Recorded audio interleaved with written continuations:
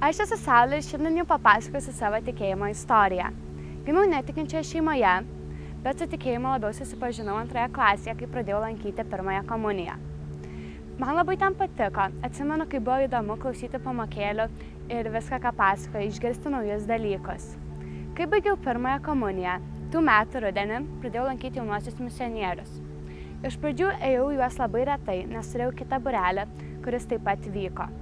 Bet kai jį baigiau, pradėjau eiti misionierius dažniau. Misionieriai man labai padėjo užaukti kaip žmogui, atsakė labai daug mano rūpimų klausimų, susipažinau su labai gerais draugais, kurie taip pat yra tikintys. Misionieriai taip pat mane supažindino su savanorystė, kas man labai patinka ir patiko. E, savanorystė man labai padėjo pažinti Dievą dar geriau, pažinti Dievą per vaikus, jį sutikti. Atsimenu pirmąją savanorystę atsinaujinimo dienose, kokia aš buvau laiminga, kad pagaliau galėjau savanoriauti ir nebebūti vaiku, nes to visą labai laukiau.